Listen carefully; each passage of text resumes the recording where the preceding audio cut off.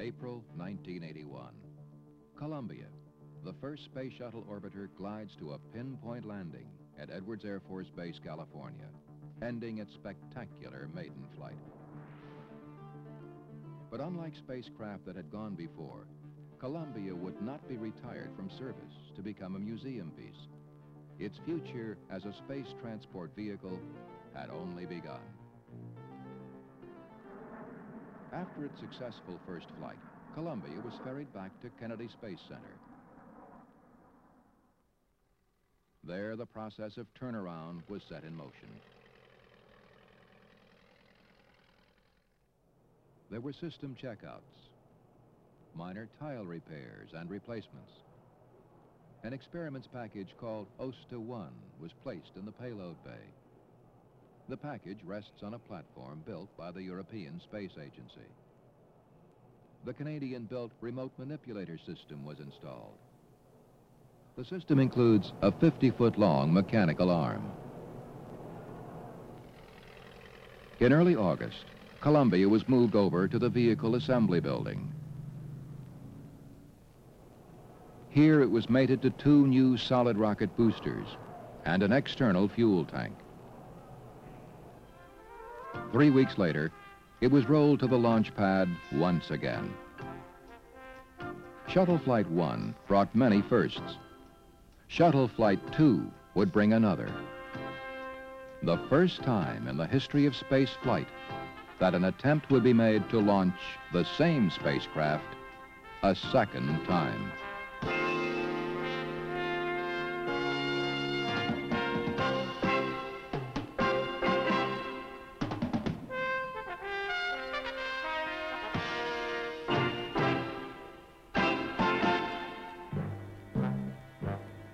The next three weeks, launch preparation crews worked in three shifts trying to meet the early October launch date. All had gone smoothly up to the point of loading the hypergolic fuels.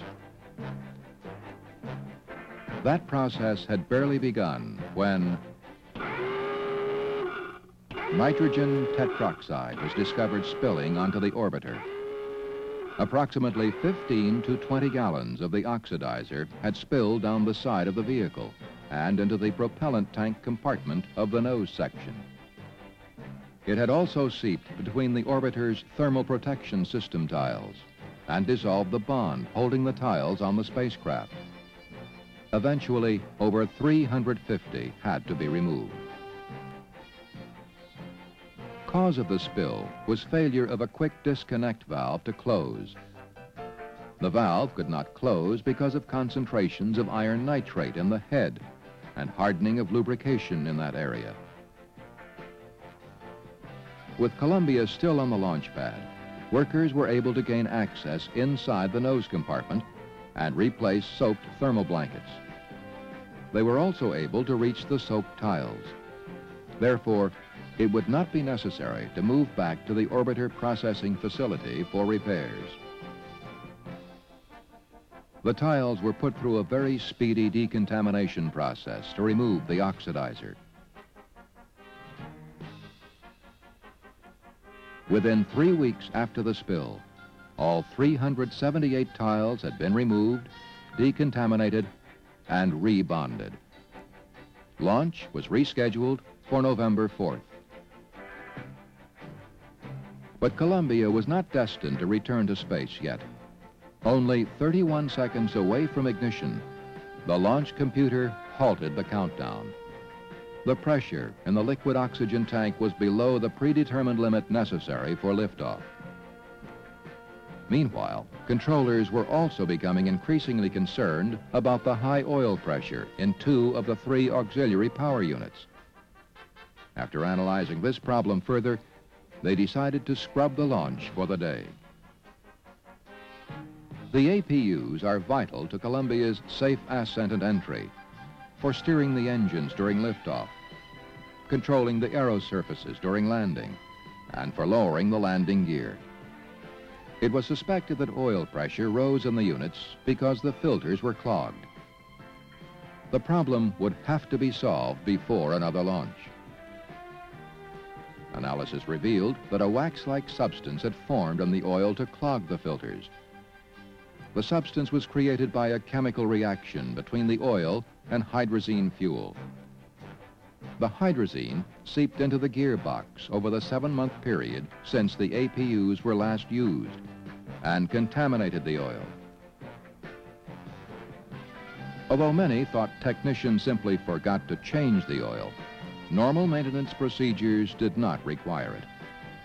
Indeed, a key factor in shuttle's reusability is quick turnaround with minimum maintenance. The APUs were flushed with new lube oil.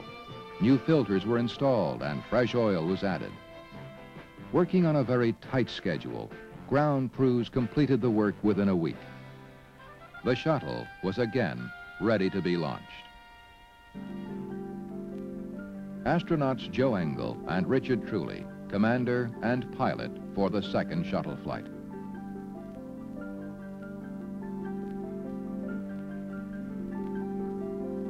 Commander Engle, who joined NASA in 1966, was part of the backup crew for Apollo 14 and the first shuttle flight. Three of his 16 X-15 flights went above 50 miles, qualifying him for astronaut rank. But he had not yet been in orbit. Nor had Richard Truly, pilot for this flight. Truly, who joined NASA in 1969, was capsule communicator for three Skylab missions and the Apollo-Soyuz mission. He was also part of the backup crew for Columbia's first flight. Both men had flown the shuttle before in approach and landing tests at Dryden Flight Research Center in 1977. That was over four years ago. It was now 1981, November 12th to be exact. Richard Truly's 44th birthday. Countdown now being conducted by the launch sequencers on board the orbiter. The SRB nozzles have been moved to start position. T minus 10, 9, 8, 7. We have go for main engine start. We have main engine start.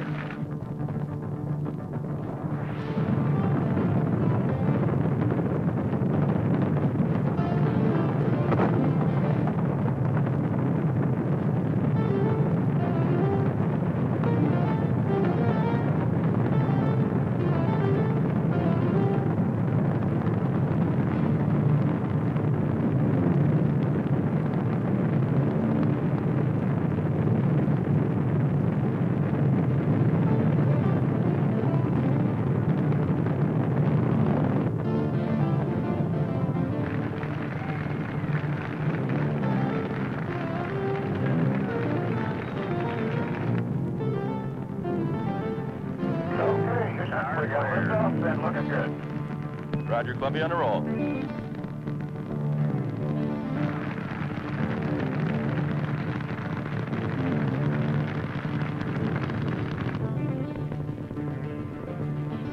Columbia, Houston, you're going 40.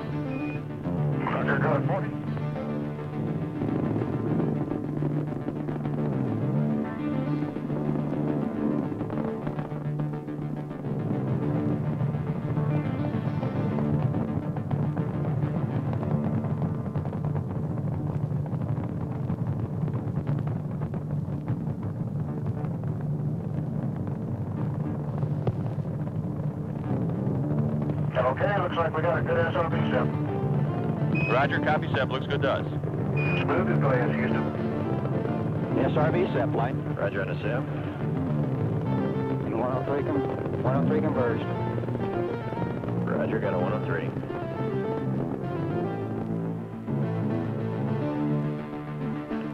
Okay, let's get a return status here. Fido. Go. Booster. Go. Prop. Go. EECOM. We're go. EGIL. Go. Okay, we're go to proceed past negative return. Mark, negative return. Roger that, sounds good.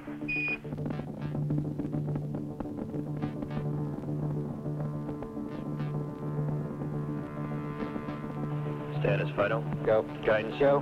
Miko holding 3-4. Yes, sir. Booster. Go. Go at 8, Capcom. Columbia, Houston, you're go at 8. Roger, go at 8. And it's solid as a rock, then.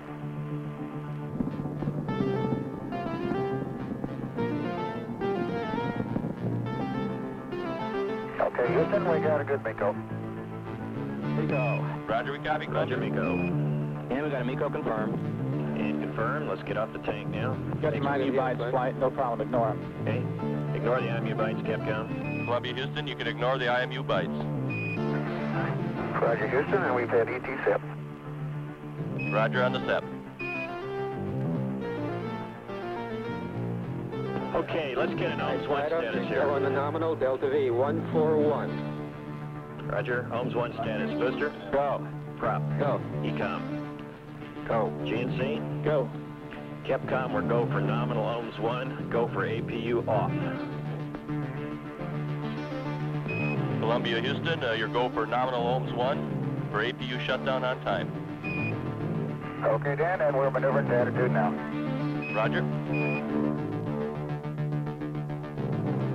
As Columbia continued toward orbit, the SRBs parachuted to a safe landing in the Atlantic Ocean, 160 miles downrange from the launch site. They were recovered and will be used again on a later shuttle flight. All orbital maneuvering system burns were successful, putting Columbia into a 138-mile orbit around the Earth.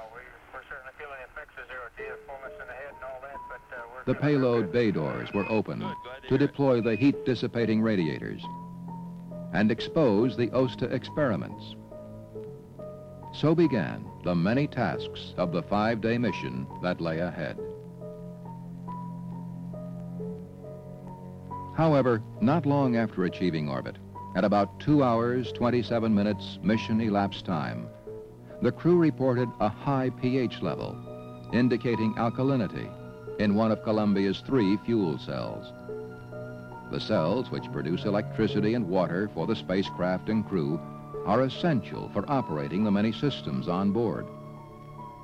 Flight controllers, having dealt with almost every conceivable problem during flight simulations, immediately began working to find a real-time solution to this problem. But meanwhile, the cell's capacity to generate electricity continued to deteriorate. At about five hours mission elapsed time, it was decided to take the fuel cell offline and safe it, drain it of all its energy. This would prevent a potentially dangerous reaction from occurring that could damage the spacecraft. But according to a mission rule made pre-flight, the failure of a fuel cell would reduce the 125-hour nominal mission to a 54-hour minimum mission. A mission management meeting was held to decide whether to enforce or override the rule, whether to come home after 54 hours or stay up for the full duration.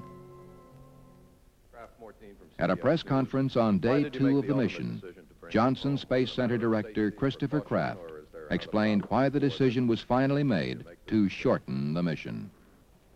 Well, we certainly don't have any other problems on board. I think that we think it's the prudent thing to do uh, at this point in our test program. Uh, we think we can really get everything out of the mission that we have planned uh, with, the with the exception of time. So we just felt from a more prudent position, uh, we, had, we had thought it out very carefully uh, pre-flight that uh, that was the best thing for us to do. Indeed, virtually everything was gotten out of the mission that was planned.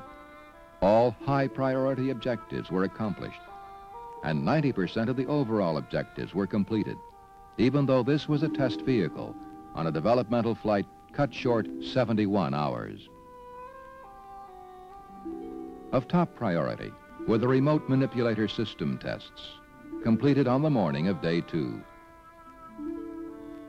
Sally Ride, first female capsule communicator, guided the astronauts through the tests. And we've got a great picture from camera Delta of the arm going down into the cradle. Hey, good. I tell you, the old eyeball looking out the window is the best alignment device, I think. And now we got a picture of the PLT moving the arm.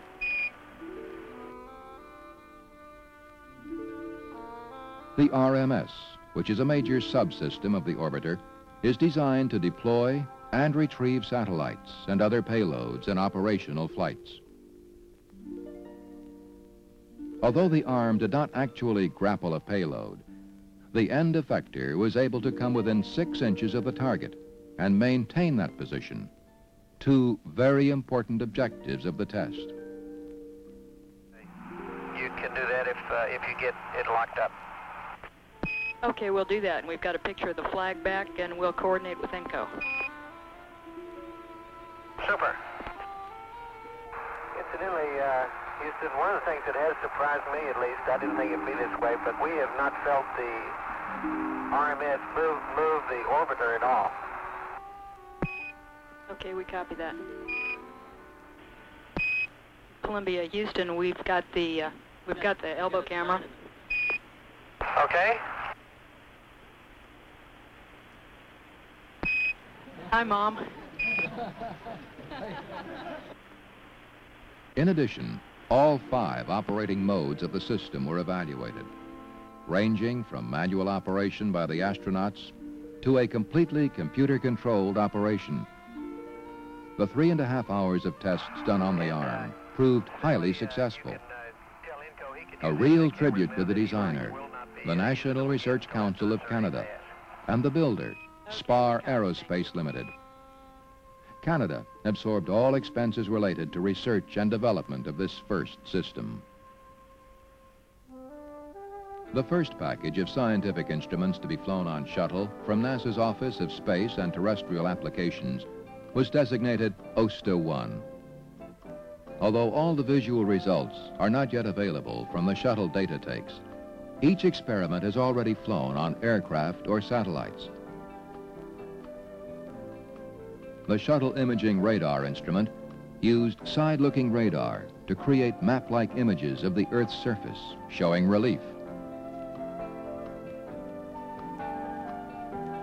When supplemented with previously recorded Landsat satellite data, which could identify rocks and vegetation types, the composite revealed geological structures of a type which could possibly contain valuable mineral deposits, such as oil.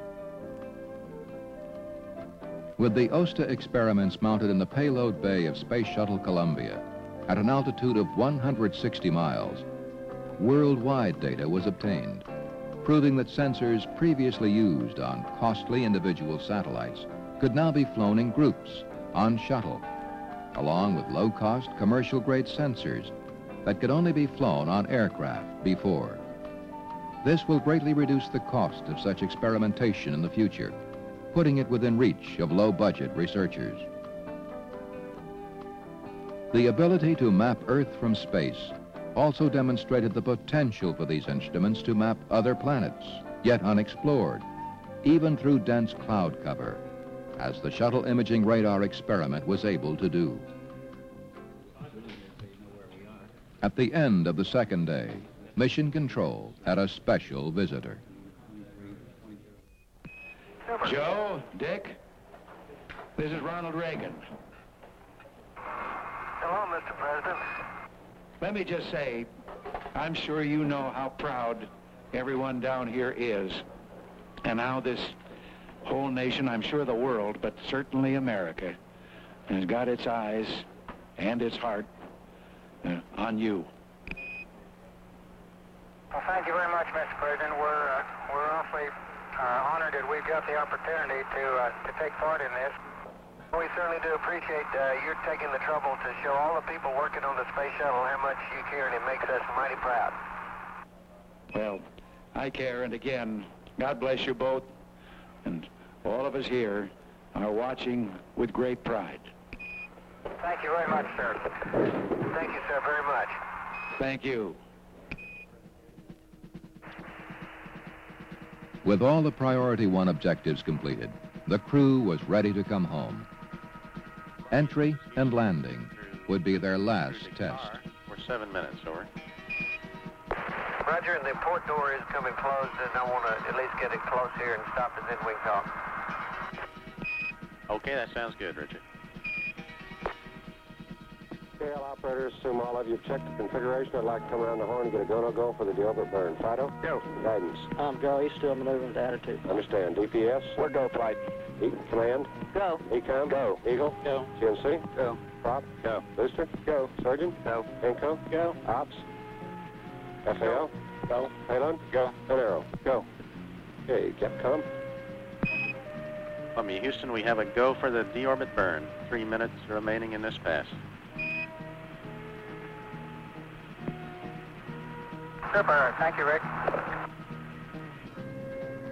The landing, like the first mission, would be at Edwards Air Force Base in California.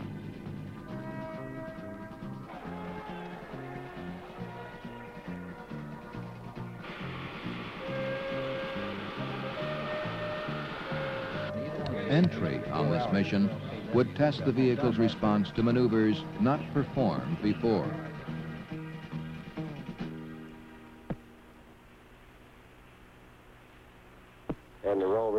Will still be as updated. At Columbia Houston, the uh, roll reversals will uh, still be as briefed. Uh, there will be no significant effect on that uh, early turn on the first roll reversal. Over. Roger. Understand. Thanks, Rick.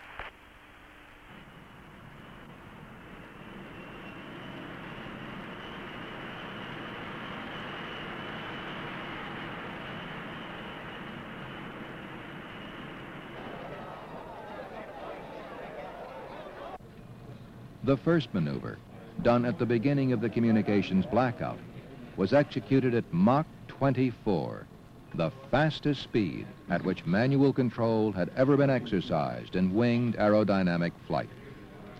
Close to 30 maneuvers took place as the shuttle sliced through the atmosphere at speeds from Mach 26 down to Mach 11. At about Mach 10 and a half, Columbia was expected to regain communications with mission control.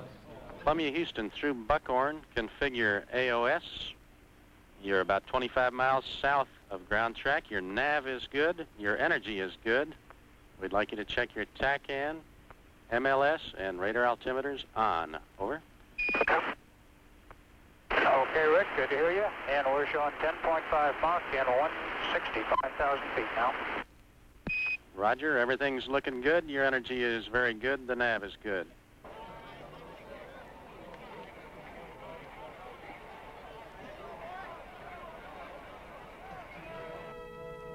The first visual sighting of Columbia was aided by plumes from reaction control system jets, which were fired during a pitch maneuver. 100,000 feet, Mach 3.6. You have positive seats.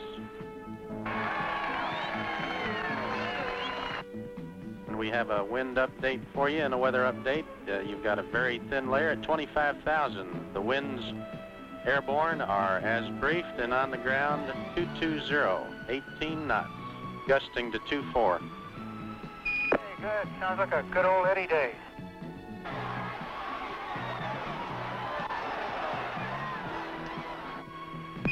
Columbia Houston, we show you intercepting the HAC, and a reminder you've got the strong winds out of the west. Now out of 38,000 feet.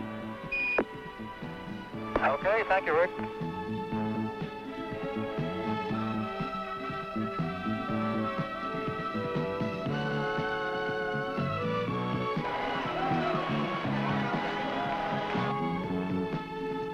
And Rick, the maneuvers have been going very good. The bird is real solid. Good, solid bird all the way. Well, we love hearing it.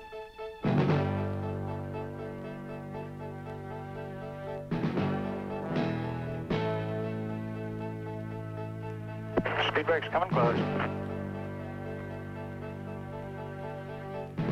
Roger, slightly below glide slope.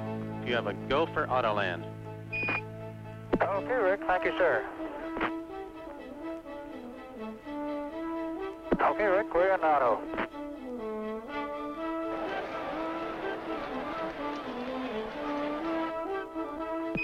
Check speed brake auto. Okay, speed brake, body flap, auto, everything's auto. Thank you.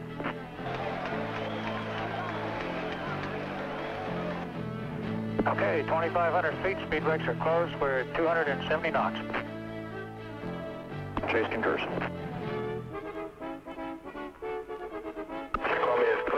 at 2-3, wind 210 Okay. Gears coming. Three down.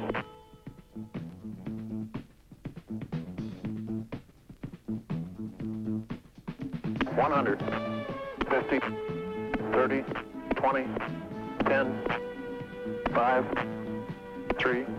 touchdown. Nose gear 15.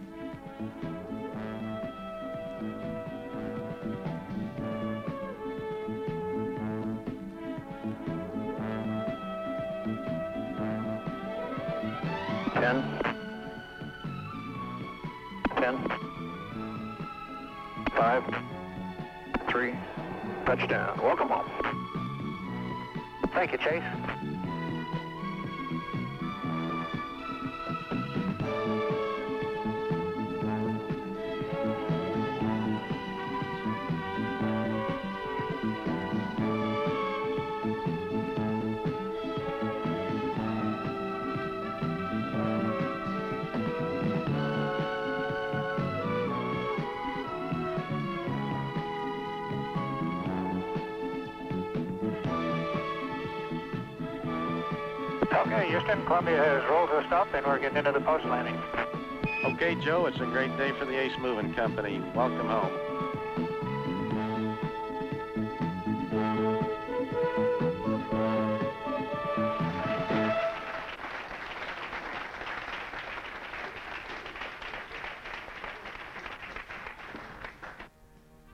Although this second shuttle flight only lasted two and a half of the five and a half days planned, it did answer some formidable questions.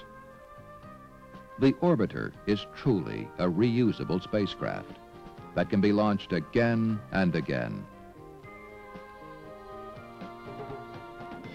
Instruments in the payload bay can map Earth's resources on a global scale. And the remote manipulator system has met this flight's test objectives. The completion of this flight marks the halfway point in the shuttle flight test program. Columbia's third flight, a mission of up to seven days duration, is scheduled for the spring of 1982. The problems encountered so far are not unexpected during developmental flight testing. Indeed, it is only through such testing that confidence in the vehicle, its systems, and its flying characteristics can be built. The Columbia is a totally new concept in manned spaceflight. It needs very conservative, very comprehensive testing before it can become operational, making access to space something it's never been before. Routine.